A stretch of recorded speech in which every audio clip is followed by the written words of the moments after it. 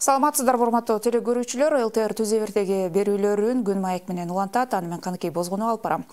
Бүгүнкү берүүбүздө мүлктү камсыздандыруу жөнүндө кенен маалымат берели деп атабыз. Камсыздандыруу деген эмне анын кандай түрлөрү бар?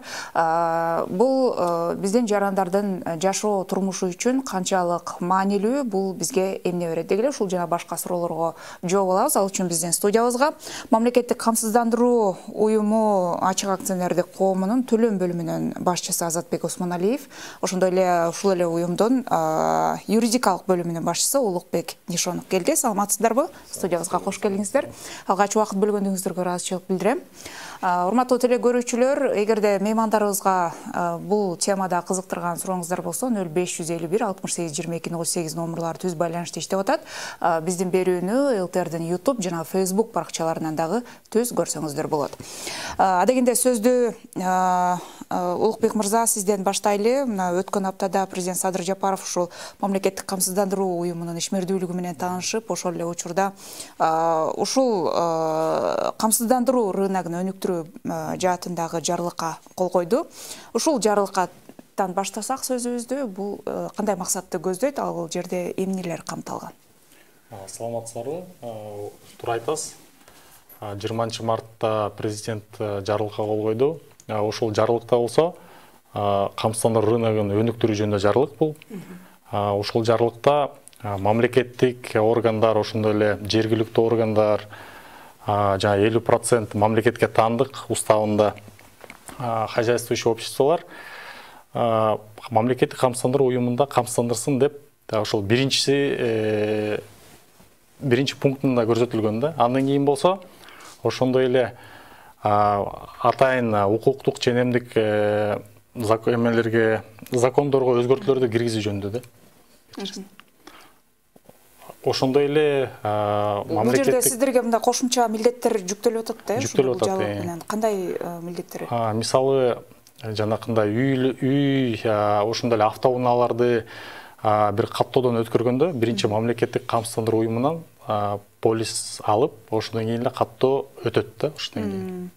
Бул жаңы тартип болуп атабы ошондой ошондой берип атат негизи эле ушул камсыздандыруу боюнча эми бул көпчүлүк дүйнөнүн өлкөлөрүндө өнүккөн нерсе десек болот а бизде кандай болуп атат акыркы учурда? Эки миң он бешинчи жылы кабыл алынса керек э мыйзам камсыздандыруу жөнүндөгү. Бүгүнкү күндө кандай иштеп атат бизде бул жаатта эми муну кыскачасынан айтканда өзүңүз туура айтып кеттиңиз. Ушу эки миң он бешинчи жылдардан баштап мамлекеттик уюм ушундай түзүлгөн камсыздандыруу боюнча. Анан ошого ылайыктуу баягы жумуш алып келатканбыз. Бирок негизи бүгүнкү күнгө ошо былтыркы күздөн баштап мамлекет жагынан президент жагынан абдан көңүл бурулуп бүгүнкү күнү ушул камсыздыруу уюмун кандай бир мындай жакшы бир мекеме кылып эл үчүн деп. Себеби деген баягы көйгөйдүн баары тең эле мындай карасак мына бүгүнкүдөй мындай катуу шамалдар болот сел болот жер титирөө мына көлдүн баягы кээ бир жерлеринде өтүп кетти. Ушундай учурларда деген эл баягы көп суроого такалып кыйынчылыктар болуп калат себеби баягы үйдө жашап аткан жеринен эми баарыбыз деле билебиз айылдын ичинде деген баягы кыйыныраак аяка деген строй материал алып бармай каражатын тапмай ошондо баягы элде деген ошону издеп калганда суроо пайда болот. Каяктан ким жардам берет же ким бизге деген салып берет деген ушунун баарын тең ушул негативдүү суроолордун баарын камсыздандыруу уюмунан өтүп койсо жанагындай турак жайбы автомашиналар болобу же өзүнүн баягы ден соолугунбу ушуларды камсыздандырып койсо ушул суроолор деген четке чабылып чыгып калат да. Эл үчүн бул өтө жакшы бир маанилүү нерсе да. Жардам дегенде мамлекет жагынан. Акыркы учурда кандай болуп атат? Мындай элдин активдүүлүгү мындай маалымат жетип атабы эл мындай түшүнүп атабы ошол камсыздандырыш керек экендигин? Эми муну мындай айтып кетелик. Азыркы күнү деген ушул турак жай жагынан камсыздандыруу иштери деген күчөп элге деген биз колубуздан келишинче кээ бир жерден баягы элдин дагы мындай азыр баягы айтып атпайбы бири бирине айткан маалыматтар да жакшы болуп атат баягы айыл жергесинде деген ушул иш жакшы кетип атат элдер деген жакшы өздөрүнүн үйлөрүн деген түшүнүп көп баягы жашоочулар камсыздандырып бири бирин көрүп анан кийин ошол бүгүнкүдөй эле айткандай мына катуу шамал болгон күндөрү деле ошо айылдын ичинде бир үй деген жабыркап калса то есть наоборот тиги бир көчө жабыркап калса ошонун ичинен деген бир беш он үй деген камсыздандырылган аларды деген биз учурунда барып карап жумуштарын алып барып буларды акчаларын төлөп берип материалдарга акча караштырган ошонун баарын кылып беребиз. Анан ошонун негизинде эле баягы камсыздоодон өтпөгөн баягы жарандарыбыз болсо деген ошону көрүп кызыгып ушундай кылса болот экен да. Эми бул жерден айтып кетиш керек баягы айыл жергесинде деген өзү негизи мамлекет жагынан жакшы бир ой максатын салып мунун баасы деген мындай караганда бир жылга алты жүз сом болгону. Бир турак жайгачы бул айыл жергесинде. Айыл жергесинде. Анан шаарга болсо деген кичине көбүрөөк караган бир миң эки жүз сом кетет и ошого карата деген булар деген баягы жабырып калган айылдагы жергелер айыл жергесиндеги турак жайлар деген беш жүз миң сомго чейин жөлөк пулун төлөп бергенге камсыздандыруу уюмубуз деген даяр да. Ошого мамлекет ошондой баягы нормативдүү документтердин баарын чыгарып берген. Шаар ичинде болсо деген бир миллион сомго чейин. Анан мен ойлойм азыркы күнү деген ошо тиги биз өзүбүз аналитика жүргүзүп турабыз баягы. Турак жай жагынан жакшы иштер кетип атат элдер кандайдыр бир башкача мамиле болуп маалыматтар жакшы жетип атат окшойт дейм ушуга элдер ошого жакшы эле болуп баягы саны да көбөйүп атат жылыш бар экен жылыш бар экен канча баягы үй камсыздандырылды бүгүнкү күнгө чейин эми муну карап көрсөк эми точный данныйды азыр айта албайм бирок мындай караганда биздики деген түштүк жагы көбүрөөк болуп атат себеби деген баягы населенный пункттардагы өздөрүнүн баягы жайгашкан жерлери саны да көбүрөөк ошол жактан көбүрөөк камсыздандырылып атат. Ушул жарандарга баягы кененирээк маалымат болуш үчүн ушул камсыздандыруунун түрлөрү жөнүндө маалымат берсеңиз кандай түрлөрү бар? Кайсылары милдеттүү кайсылары мисалы эмес? азыр бизде алты түрү бар. Бул болсо милдеттүү ошонун ичинде жанакы осаго деген уккандар болсо керек. Анан ошол турак жайларды камсыздандыруу анан мисалы жумуш ишкер жумушчулардын жоопкерчилигин ошондой эле жанакындай опасный производственный объекты деп коет ошондой түрү бар. Анан жанакы перевозка пассажиров деген бар. Получается ошол беш алты түрү. А калган мисалы бизде дагы он тогуз ыктыярдуу түрү бар да милдеттүүдөн тышкары. Мисалы ошол эле туристтерди камсыздандыруу жанакындай даже самолет воздушный судно деп коет ошолорду камсыздандырабыз жанагы көк бөрүчүлөрдү даже азыр камсыздандырып атабыз да. Каска деген бар жанакы. Ошол эле машинаны автоунааны өзүн камсыздандырып койсо болот да жанакы осаго деген жакшы түшүнбөй атышпайбы осаго деген бул жоопкерчиликти камсыздандыруу да эгерде бирөө бир автоунаа башка автоунааны сүзүп алса жанагы күнөөлүү адамдын жоопкерчилигин страховой компания төлөп берет да. А каска деген бул жанакы өзүнүн машинасы жабыркаса ошо өзүнүн машинасын страховой компания жасап берет да кабылына келтирип берет азыр бизде байланышка чыккан көрүүчүбүз бар экен суроосун кабыл алып койсок саламатсызбы алло саламатсызбы саламатсызбы сизди угуп атабыз чемир районунан чалып атам да атым керек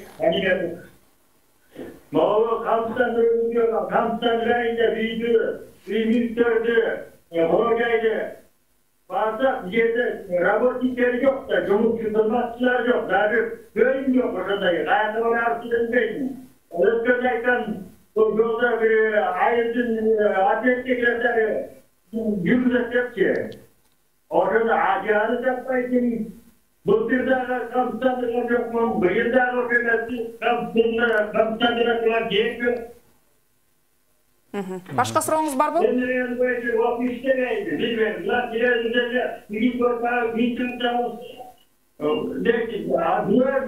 районда мен көрген жоқпын даже мен өзім істеп жүріп тапқан жоқпын мен жок суроо түшүнүктүү эле болду го э жооп бересизби суроо рахмат А, түшүнүктүү болду. Бизде ар бир а, областта филиалдарыбыз бар. Ошондой эле жанагы айыл өкмөттөргө кайрылса ошол жерде биздин өкүлдөрүбүз бар. Ошол жакта эле а, страховой полисти жазып бериш керек. Анан балким жумушта болбой калгандыр А, ошобайке а, үйүңүздү камсыздап турган бо- камсыздайт турган болсоңуз ошол эле ноль жети жүз бир тогуз жүз он бир беш жүз отуз алтыга чалып койсоңуз болот. Дагы бир жолу кайталап койсоңуз э, телефон номерду ноль жети жүз бир тогуз жүз он бир беш жүз отуз алты. Демек э, ар бир э, айыл өкмөттөбү же ар бир айылда болушу керекпи жок ар бир айыл өкмөттө ошол эле мэрия анан гос администрацияларда биздин өкүлдөр бар. Негизи эле ушул э, мындай жарандарга маалымат жеткизүү жаатында сиздер кандай иштерди жүргүзө аласыздар? Жүргүзүп атасыздар бүгүнкү күндө? Бүгүнкү күндө мындай болуп атат. Мына э, улукбек хасанович айтып кетти. Ар бир областта деген бирден филиалыбыз бар. Филиалда деген өзүнчө бир жетекчибиз бар. Э, анан бул кишинин жана берип аткан суроосу туура эле бирок мындай деп түшүндүрүп берейин. Филиалыбыз деген өтө тыгыз мэрия менен губерна- гу- губернаторлор менен жергиликтүү башкаруу органдары. Башкаруу органдары менен иштешет себеби деген биякта жалаң эле деген баягы камсыздандыруу уюмубуздун эле кызыкчылыгы эмес бул жерде жергиликтүү бийликтин да кызыгы бар. Себеби деген эртеңки күнү жанагындай эле страховой случай болуп үй жабыркап калса элде деген биринчи эле баягы чүй дегенде эле бийликке барат өзүнүн алдындагы барып ошол жерден ушул суроолор чыгат да бизге жардам бергиле деген кеп. Анан ал а кишилер да биз менен ушул мекемелер биз менен биздин уюмубуз менен жумуш алып барганга аракет кылышат. Ошон үчүн Кызыктар болуш керек. кызыктар ооба. Ошон үчүн баягы биздин жумуш бүгүнкү күнү тыгыз тыгыз ушундай нерселер менен деген баягы байланыштуу иштеп жатабыз. Анан бул кишиники кандай болуп калганын мен жакшы түшүнө албай калдым. Бирок андай болушу мүмкүн эмес но бүгүнкү күнү деген бизде азыр инстаграмыбыз деле бар ар бир айыл өкмөткө деле барса деген маалымат берет себеби ал жерде ошол айыл өкмөтүнүн иштеп аткан ишкерлер да кээ бирөө бизде деген агент катарында деген катталган а кишилер биздин баягы болгон маалыматтарыбызды элдерге жеткизип турат демек э, ошол жергиликтүү башкаруу органдарына эле барып кайрылса ошол жерден дагы маалымат алат ошол жерден дагы кандай мындай шарттар бар камсыздандыруунун? Эмне э, документтер талап кылынат же кандай шарттарды аткарышы керек? Эми муну айта кетсек баягы кыйынчылыгы деле жок. Баягы ар бир адам кайрылса үй турак үйдү камсыздандырып дечи өзүнүн паспорту технический паспорт деп баягы э, өзүнүн мүлкүнө ушундай эле документтер керек. Ошо менен эле келет э, төлөй турган акчасын төлөп ордунан эле деген э, страховой полис жазып берет болду ошо боюнча эле. Ашыкча деле э, документтин кереги жок экен, ашыкча деле документтердин кереги жок бизде азыр э, мындай э, ошол мисалы турак жайды камсыздандыруу болсо кандай негизде камсыздандырылат ал баягы кандай курулган кандай материал менен курулган ошонусуна каралабы баягы камсыздандырууда биз ошону деген баягы караганда документтерден эле жана биринчи эле ысымылда дегенде эле технический паспорт деп турат. Технический паспортто кандай жазылса ошо боюнча биз деген камсыздандырып беребиз. Кийинки көрүүчүбүз бар экен суроо берем деген саламатсызбы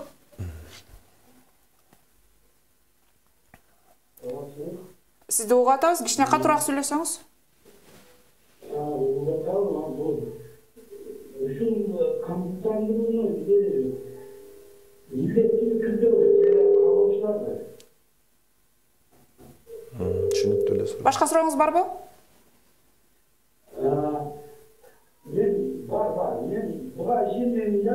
үчүнчө мен үйүм бүйүп кетсе булар кандай келип кандай төлөп үй салып беришет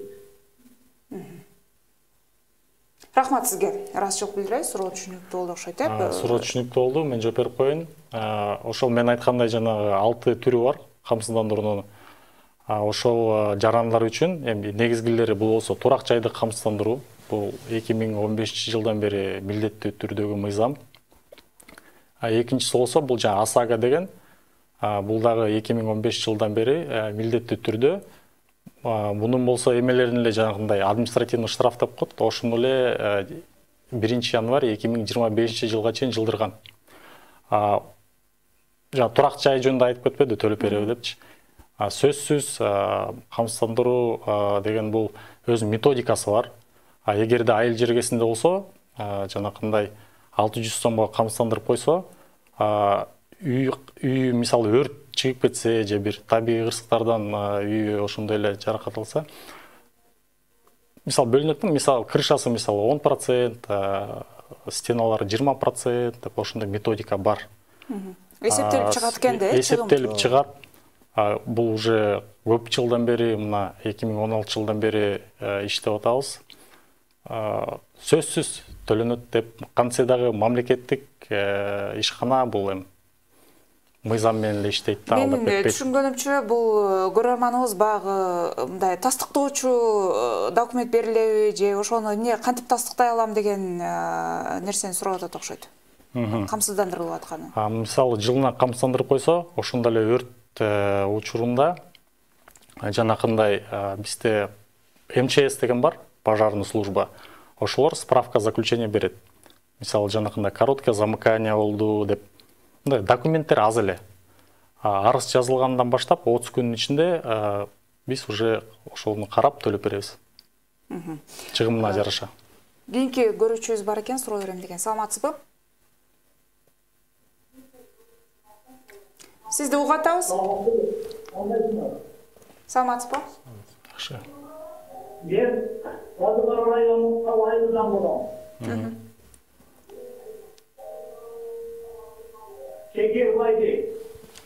Дейт мен он тогузунчу жылдан бери камсыздандырууга катнашам да көрөйүн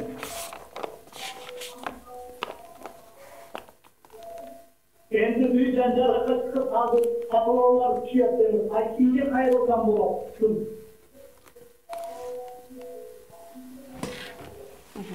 башка сурооңуз барбы башка сурооңуз барбы жок жок рахмат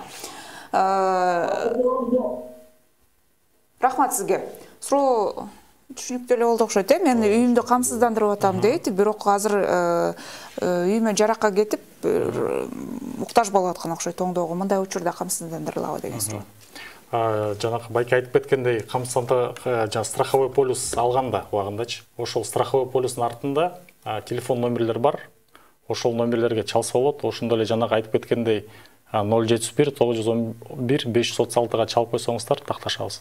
Бул жергиликтүү бийлик органдарына деле кайрылса болобу ушул маселе. каяка да кайрылса болот ооба. Сөзсүз биз жана турак жай боюнча эле азыр айтып атпайбызбы бирок мисалы адам ден соолугун камсыздандыруу ошол эле автоунааларды камсыздандыруу ушулар боюнча да кенен маалымат бере кетесиздерби канча сом турат камсыздандыруу сиз жооп мен жооп берип коеюн.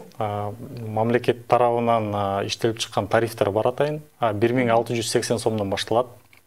Анан ошондой эле машинанын көлөм жанагы двигательдин көлөмүнө жараша жылына жана водительский стаж деп коет ошого жараша. Орточо бир эки жарым миң үч миң сомго чейин болот да орто эсеп менен да ошо осаго боюнча бул автоунаа боюнча ошол эле учурда ден соолукту камсыздандыруу дагы милдеттүү да э бүгүнкү күндө жок ден соолукту камсыздандыруу милдеттүү эмес. Бул ыктыярдуу түрдө келсе бизде атайын программалар бар. Аякта да бөлүнөт да. Ал да кымбат эмес. Ошонун тегерегинде эле. Кийинки көрүүчүбүз бар суроо берем деген саламатсызбы? Алло саламатсыздарбы? Угуп атабыз. Мамлекет суроо берейин биз өткөн жылы болгон техниканы баарын камсыздандырдык ошо камсыздандырып эки миң жыйырма үчүнчү жылы июнь айында биздин кыз суу качырып экитип атырбыз нарым сууга түшүп кетти трактор менен коюп кийин ошо камсыздандырууга тууралуу биз баары ушунусуна камсыздандырдык эле бизге